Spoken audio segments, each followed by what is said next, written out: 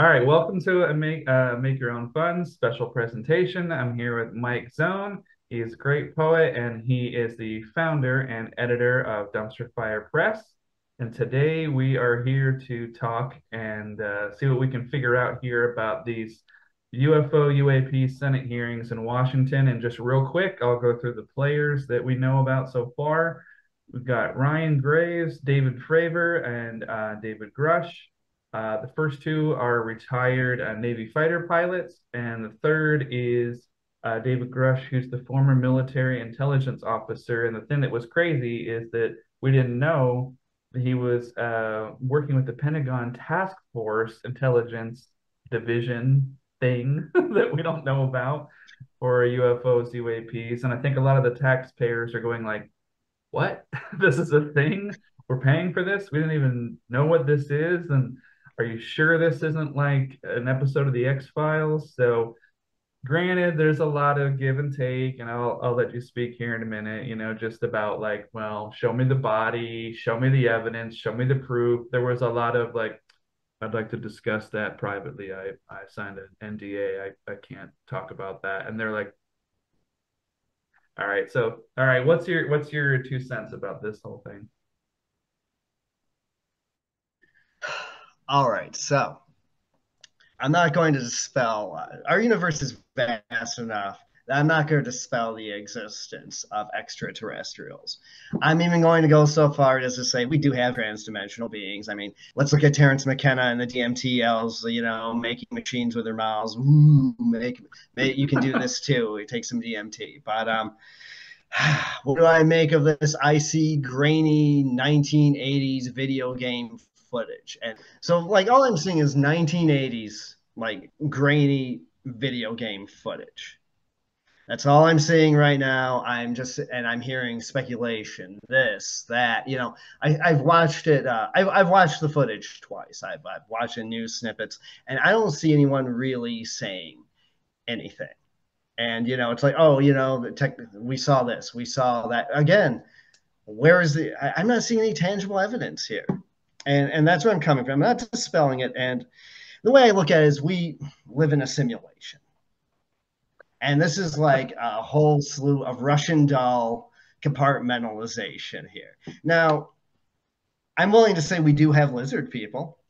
And by the lizard people, I'm going to say that at the forefront is the reptile brain with the uh, with all the psychopathy and sociopathy that's behind a lot of this. Uh, I think uh, the war on drugs has stopped working. I think the war on terror has stopped working. So they took a page from Alan Moore and they threw the giant squid from outer space at us.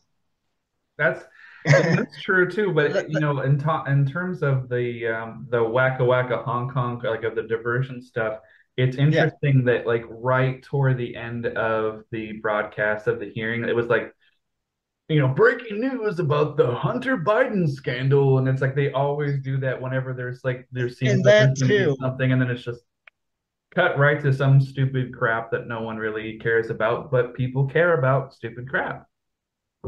But it's that it's like culture of fear, and you know you gotta look at Goebbels, you gotta look at the Red Scare with McCarthy, and you definitely gotta look at QAnon here, and all that and you know you come up with this zany, you come out with these zany theories and then you bring something you bring out the, the culture of fear there. And then you bring out the uh, then you bring out something kind of moderate which people are going to be like well fuck this. I don't care about hunter biden. I'm going to turn it off. I don't care about the president so i'm really worried about these ufos you know it's just if, to me it looks like good old fashioned propaganda here. And and you know uh, and a lot of people would say, well, why after all these years is it coming? Are, are all these secrets coming out about UFOs? Well, I'll tell you this 2016, we could have had a progressive president. People are, were, are people are voting for more progressive dr- uh, drug reform. People want more progressive environmental reforms. People want more progressive economic reform. And how are you going to do that? You need you need that external factor. You need to just hammer people with fear, like Cameron Hodge with the shock doctrine. You shock the public enough that they are not going to be they're not going to be able to unify and form a coherent narrative to combat what's right. Well, what's interesting too is that um, in 2017, I mean, we are reporter um, through. We are living in, during the sixth extinction. Keep a, they want to keep the minds off that. They want to keep our minds off that. They don't want us to radically uh, restructure society. Anyway, um, yeah, in 2017, uh, Leslie Kean, who's an investigative reporter, um, she was part of a group that published an article in the New York Times um, talking about these Pentagon um, groups. I guess it's a one group. And it's weird how everything went from, you know, little green men and, you know, X Files references to like, well, wait a minute they're actually doing the work. And you know whether aliens are real or not it's like okay well they're following the money and the money is going like okay well such and such from these political campaigns is actually being put in these government agencies. And it's kind of like well that's kind of the really scary thing is not whether we're like reverse engineering things to get iphone technology but kind of like where's my money? And why is it going here and what the hell is going on? And so when it starts to get into like reputable news sources and it's not just, you know, Gus's gas station dot fart or whatever, and it's coming from things like that, it's kind of like, oh, well, you know, maybe we don't follow things and we find like ET eating Reese's Pieces, but we do find out like, well, money's being put aside somewhere. So how do you feel about that kind of stuff? Is she followed the money and she she's the one who broke the story in the New York Times. Leslie Kean is the woman's name, and they almost had to come forward and say like, okay, well, yeah, you know, the money is coming in from these from these groups, these senators, and then now their senators are saying like, people want answers. I mean, I know what you're talking about, but I I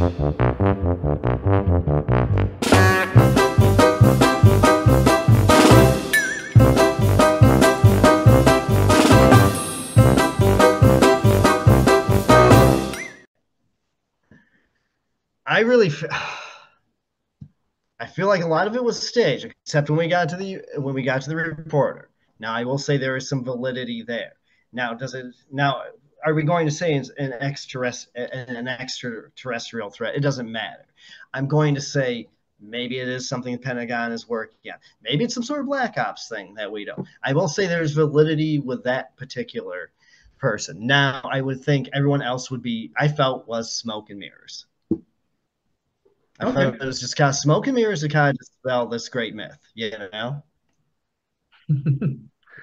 All right, fair enough. So, um, yeah let's go into like the footage that you saw. So I'm, I'm assuming you saw the footage that the two um, Navy pilots, the the one guy talking yeah. about it was like a tic tac, and the other guy um, where they showed it was kind of like changing direction in midair and then going underwater. So, yeah. I mean, uh, I guess before you say anything, my my thing is always like, why is it always with this stuff? And people are gonna get pissed when I say this, but like with Bigfoot and stuff like that, where it's like it's always grainy. It's never clear. It's like I don't yes. need that that thing from like um, Signs with M Night Shyamalan where the kids are having the birthday party and the alien just walks around the shrubs yeah. down the street and they're just like oh.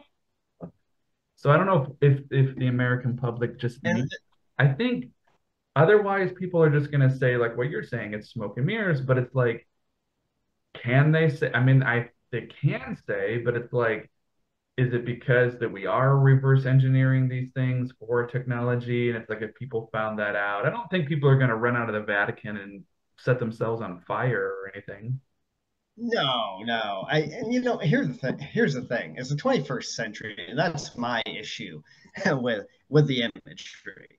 Like, why is it so grainy? It's the 21st fucking century, man. you know. I mean, I look at you look at Chicago. You know, they, they were their street cams. They can, or even God, I used to work at a Kohl's department store. Our surveillance cameras were so good. I could see what you were, what, who you were texting and what you were texting on a cell phone.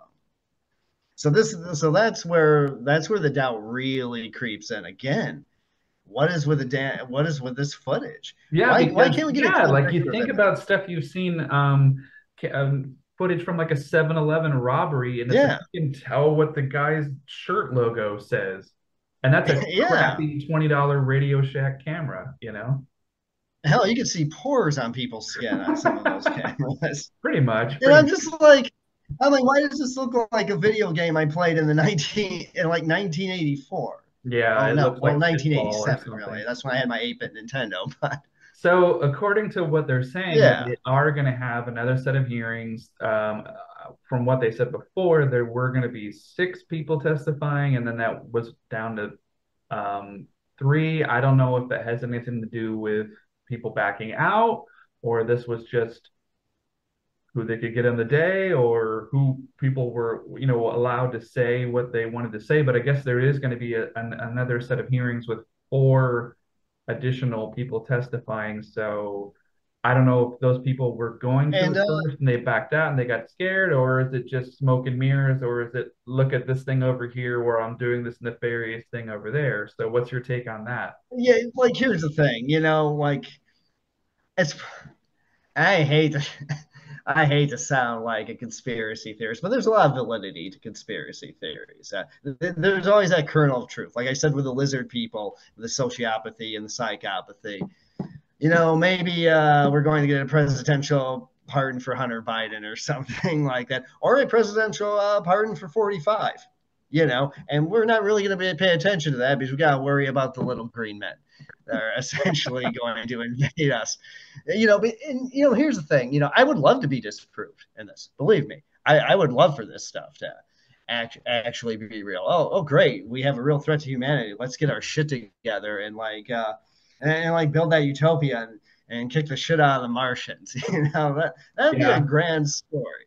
you know, well, and it's true. I mean, if you, I mean, I don't want to get on my um, you know, ancient aliens crazy eraser exactly. bro or whatever. But if these things are real, then they've been visiting here for thousands of years, and people are saying, "Well, why do we yeah. only discover about them?" Well, if you think about it, popular air flight with passengers only really got popular in the 30s and 40s.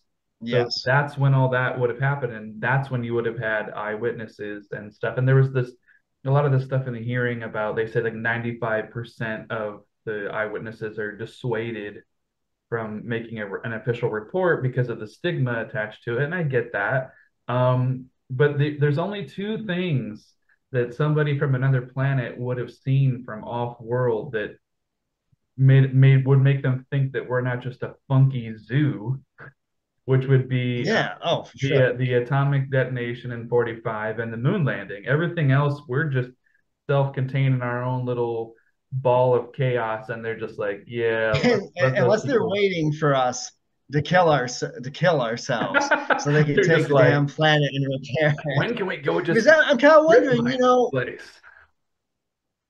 like if they've been like visiting all this time and they haven't made themselves known it's like oh okay what are you observing and why are you observing? Oh, wow, they're getting pretty close to blowing the. Or it could be one of those up. things, you know, if we're going to throw caution to the wind, it could be one of those things where they don't look that dissimilar to us. And so, with all of our, you know, movies, our, our science fiction B movies from the 50s and 60s, where they look like giant praying oh, yeah. mantises and giant bulging eyes and saliva that can burn through the floor and stuff we have these preconceived notions. So if we do see them and they look just a little dissimilar to us, would, would be would we as a society just go, oh, that that's it? Oh, it might be under it might be that underwhelming. Yeah, like they they get they come out wearing but I think uh, not possibility. they all come out with like horns. I think I'd be okay with that. they're, they're like, oh, we're just here for. I mean, if they looked anything like the, uh, they could be. Yeah, Yeah. they could be just tourists, but you know, So what's your what's your take on the if anything, I'm thinking, if if we get to the the root of this stuff, which is the the hardcore investigative reporting stuff, um, you know, Leslie Kean had that great article in the New York Times about six years ago where they were talking about they just followed the money. I mean, it's in the New York Times. It's one of those things where they're watching mis this is nothing new about misappropriation of funds, but it's one of those things where it's like it's going where? This 20 million dollars or however much it was at least that that's what they know about. That's the hardcore investigative journalism where it's like whoa whoa whoa slow your roll. So so this money's going somewhere. Yeah, Oh, we know that there are military bases at, at Wright uh, Patterson Air Force Base and and Dayton, outside of Dayton, and Yeah. we know about Area 51 and some of these other things. But but the thing, you know, you know, putting aside all, all of the you know the showboating and the the um, little green men stuff, it's like, well, how much colle- co- uh, stuff is going on where it's like, okay, you caught us, we put this money aside. I guess there's this division we should talk about because now you guys talk about it. So what's your thought about that? my thought about is, why aren't we following the money, say, with the DEA, where that money's going? Why aren't we following the money when it comes to say why we can't have Medicare for all? You know, why are we following the money Well, with you can, you just have to live in Canada. Yeah, no, no, I, I, I get that. I get, I, I get that, and uh, and this is why I'm, this is why I'm a big proponent of people going to work sick. You know, but uh, but you know, again, you know, why? This is where I kind of think. This is where I start to see the fiction and things. We're we're following money in these secretive Pentagon programs, cool, but um, why are we not following the money when it comes to say setting up coups in South America? I think years? that there and, and this is where the doubt and the cynicism. think it's it's gotten it doesn't capture the public's imagination, you know. You call something a UFO or a UAP hearing, and all of a sudden Exactly. you got people lined up around, around the block because they're going, okay, and this is like where I come first in. time in recorded history, you're going to have cameras in a hearing to talk about this. Whereas before, before the Leslie Kean article in the New York Times, this stuff was always just kind of like, whatever, you know. Okay, Fox Mulder, Chaser, little green man. But you know, remember none of this stuff. Oh, sorry. None of this stuff really came out until people started having a problem with fascism when it came to 45. All of a sudden, this start, like you said, around 2017, this starts this started coming up. Then they uh, threw us with uh, 46, and then you know, uh, then you started seeing all these progressive ideals start to get, you know, kind of shoved away to the side. So now all of a sudden we're getting these UFOs. Not, but here's another part. Here's another thing that'll bake people's noodles noodles right now. We've got like we we're rife with government corruption. Uh, again, with everything else in the news, I don't need to talk about what's happening with 45. I don't need to talk about what's happening with 46's son. But a lot of shit is just coming out. So what do we have to do?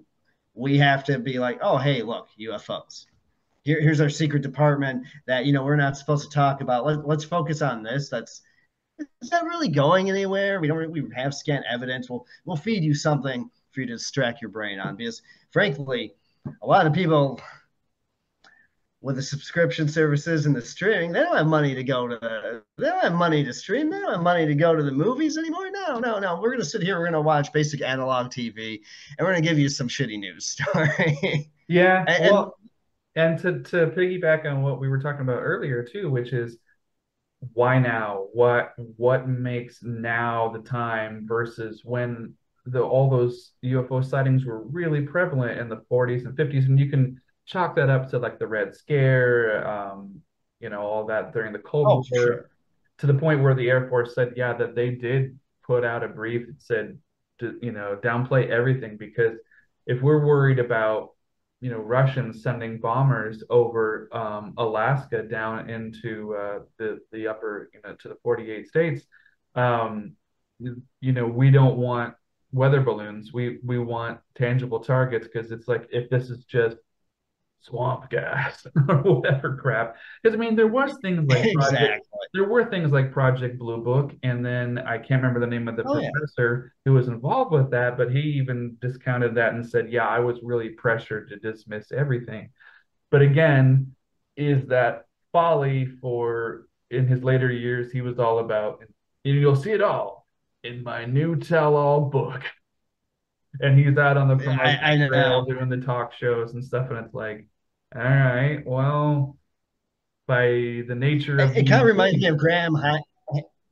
It kind of reminds me of Graham Hancock's work, The Secret of the Sphinx, and God, was it the Chariot of the Gods? Yeah, yeah, yeah, Chariot of the Gods. And then there was this uh, other guy, this other whistleblower from Area 51, and his name was Bob Lazar. He's been on a lot of the um, the podcasts and stuff recently, like Joe Rogan Experience and stuff. And it's just, again, it's one of those things where it's like, yeah, if the, if you work there and then you became a whistleblower, and this was like years ago in the in the 80s and 90s that he worked there, and it's kind of like, well it was really sensitive stuff, and I I don't know if he's gotten threats too, but it's kind of like they would have not silenced him like mafia right, style. Yeah, yeah. I think that they would have paid him off.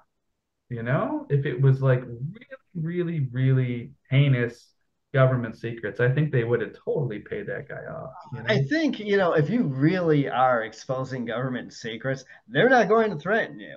I think they're just you're just going to miraculously vanish or commit suicide. Your brakes go out on a rainy night for no reason. You're like, exactly. okay, so all right, well, what what do you think is next? What do you think? You know, with these, it's if it, if it's another hearing, which we already know is is coming, but is that going to be like a successive string of hearings? Is it a dog and pony show? Is this another thing that's that's going on? Because I do know that a month prior to the, the Senate hearing in uh, um, DC, uh, there was a NASA conglomerate and they talked about a UFO crash site in northern Iraq that happened earlier this year. So that begs the question okay, to add validity to what happened in DC, why was there nobody from NASA at the hearing that just happened last week? Because, I mean, you want to add credibility what you know you've got and i was going to bring got, that up know, navy pilots and you've got this guy this cia cia spook or whatever but it's like yeah you need nasa yeah where's nasa? Something I know, I, maybe that's what's been bothering me i'll let you speak. Go ahead no, no, no, and that's that's my that's what I was going to bring up. Where where is NASA and all this? Hell, I'd be happy to see Neil deGrasse Tyson at this point. Well, yeah, but I guess no, what they're going I, uh, for now is, is eyewitness accounts. At least for this past hearing, was eyewitness accounts. The thing about the David Grusch, yeah, I, and, I, and I get he really lobbed up a lot of softballs, which were great. But then when it came to the hard hitting questions, and I can't remember the congresswoman's name, and she got him to mention, you know, he that's where he said biologics or whatever. But um, yeah, it's kind of like what did he call it? A SCIF? I don't remember what the acronym is. Where it's like you have to go in a private room where there's no what internet connection, there's no recording device, nothing written down. It's like you just go in across the table from somebody and you spill your yeah. And then you leave. But it's kind of it's like, like where you would do a rendition. Yeah, and it's kind of like yeah, but you're gonna tell them. I mean, I guess I guess he is still employed by the government. The other two guys were former Navy pilots, but David Grusch, I think, still works for the government. So it's kind of like, okay, if you go in this shoebox or whatever it is you're talking about and you tell them this stuff, whoever you tell this stuff to, what are you going to do with that? Are you going to try to get that stuff declassified? Because it's like, what's the point? It's like if you that's great. He feels that relief, that burden. He gets it off his chest, and he's like, "Here's everything I know, and I'm good to go, and nothing is written yeah. or recorded." But then he gives that information to those people, and then what do they? What can they do with that if it's classified?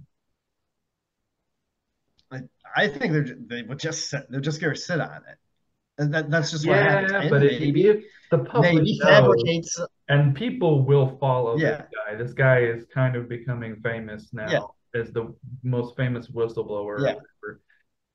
People are going to follow him with telephoto lenses, and they're going to see him go to the facility. Fuck, they're going to track his cars, everything. So they'll know when and Oh, where, and- and then the media will announce it. So it's kind of like, okay, well, we as a public, we know he's going to the, the place to do the stuff and talk about the things.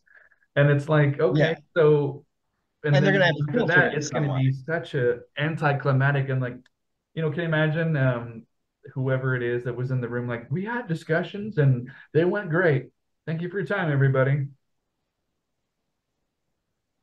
At that point, you know, what what happens? What what what goes from there? So um, all right. So, what do you think is going to be the gist of like the the the follow up from this stuff? Do you think that they will get him into that situation where he spills the beans, like privately? Here's the thing: if it's technology they're developing, they're going to showcase a sample of something.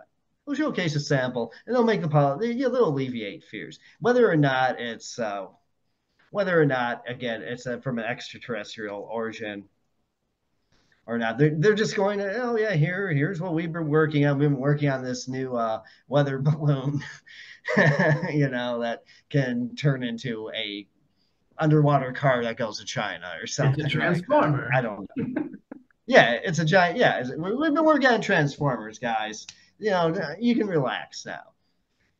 Yeah, that, that's what that's what we're gonna get. And you know, like, like I know a guy. I worked with a guy who uh, I probably shouldn't say who he is, but his brother had, did work with the government. He was a scientist, and he would talk about like, yeah, yeah, my uh, brother's telling me how they are developing Spider-Man suits, and they're developing like Iron Man type suits and and shit like that, and like you know the type of body armor you see in the Batman films. So we'll get a little cool. sample. Yeah, we'll get a sample of that, but you know, are we going to get the are we going to get the full picture? No, you know, We might us- not ever get the full picture. We might what- not ever be able to They're not. They're not going to say what it's being utilized for, though. True. All right. Well, in the interest of, I don't know how long this internet connection is going to last. I, I Um, know. we, I uh, know. we, Well, we this did, is part of the, uh, did prepare some, uh, some, uh, I guess, alien encounter, um, some writing. Yeah. So, um, I'll let you start with it, and then I'll read mine, and then we'll wrap it up here. Because, God, I hope this connection lasts. So go ahead. I, I know. yours ready. Well, This is a sample uh, from my book Octopi from the Sky. Uh, it was put out by DFP. It was an homage to B movies. This is about uh, space octopi landing on the planet and all that jazz. So here we go. Uh, this guy, I'll, I'll set the premise up here. This guy uh, find this guy finds a uh, a baby cosmic octopi that crash lands in his backyard, and he takes it to his kitchen. Would chunks of intergalactic octopi of a standard nature be welcome in the spuds he would mash for his lady love? Love. The stable butcher knife in his trembling hand didn't answer his question as he drove the blade into the creature's head and swiftly split it down the middle as a milky liquid spewed forth, running down his hand, being absorbed into his pores as he drove his free hand into the octopi's hand, crushing some sort of pulsating organ into its palm. On the other hand, sentinels resting between the borders between entrop- entropy and infinity have a much better grasp on how the universe works.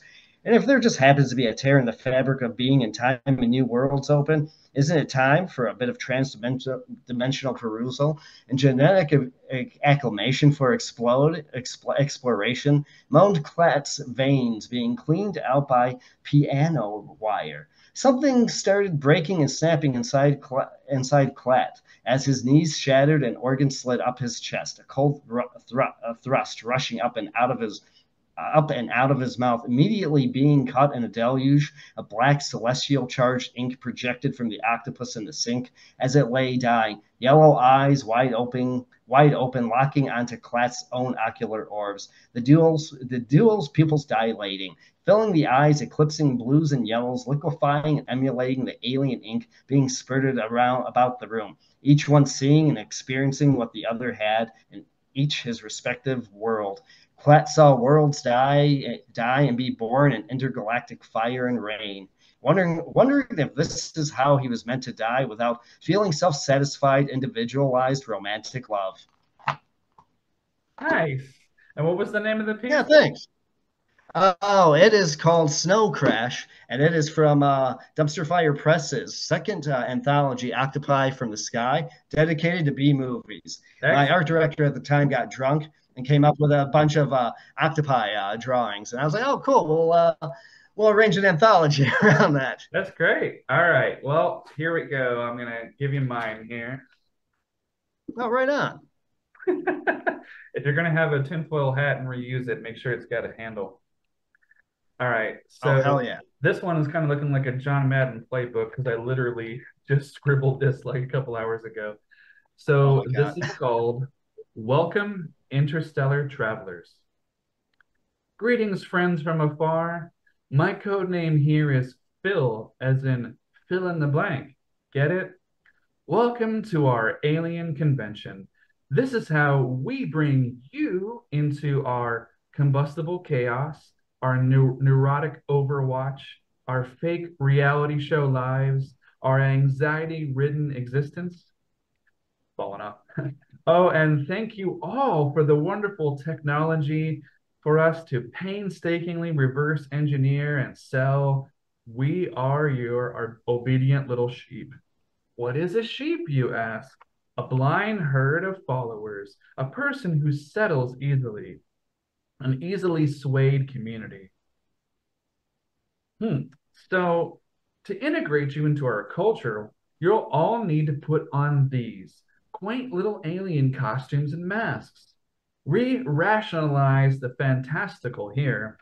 Uses, use the phrases bro and yeah, bitch consistently. You can use them for literally anything. You don't need any money here. The government gave you all a full ride, you lucky bastards. And last but not least, to truly be invisible here, act as foolishly as possible in public. Film everything and post it online. Feel free to linger at the pool and then exit through the wax machine, machine the wax museum gift shop. Welcome to your new normal. That's it. And that was called Welcome that. Interstellar Travelers. Okay, well, that. we That's made it. All right, so let's just wrap it up here. So go ahead and, uh, Mike, tell the folks about your uh, press and your website and what you've got coming up. Okay. Well, I just founded Dead Star Control, which is a uh, multimedia uh, counterculture venture. I brought back uh, Dumpster Fire Press, which is going to be a part of that. Dumpster Fire Press is relaunching in September. I brought a, an additional five editors. I've also revised my friend's record label, uh, Paran- Paranormal Vinyl Cassettes and Hair Extensions. And we are going to be bringing, we're going to be combining the publishing along with uh, music, tying just everything together. Uh, PVC Hex will probably uh, launch in, I want to say October because that's when his band, uh, I'm managing his band Tail from the Crypt, shameless plug there. Uh, my new book, uh, Wonderful Turbulence, will be the first release from Dumpster Fire Press because, well, what can I say? I'm an arrogant prick. so it may as well be one of the first releases. So, uh, yeah, we got, we got some good stuff coming out. We're going to have some anthologies. Voices from the Fire will be starting up again, uh, submissions be on the lookout for that either at the end of October or the beginning of September. Okay. Let ready. We're know where they can find your work online. Oh yeah, no problem. Dumpsterfirepress.com, uh, DeadStarControl.com, MadSwirl.com. I'm a uh, contributing poet there. And uh, hell, you can look, just Google me, uh, Fevers of the Mind, uh, Piker Press, uh, Synchronized Chaos. I'm all over the board. Probably the easiest would be Mike Zone at LinkedIn you'll find uh, links to over 300 publication credits. Right on. Well, thank you so much for being on this special episode. I will save it somehow with editing. I, I, I, hope so. Uh, I appreciate like I said, it. It will be up uh, Tuesday, August 1st. Thank you so much. The poem was great. And make sure if anybody watching this, check out uh, dumpsterfirepress.com, all of Mike's wonderful things. And with that, I say good day to you, sir. Thank you so much. Uh, take care. Enjoy. Have, Have fun. All right. Bye bye. Oh yeah.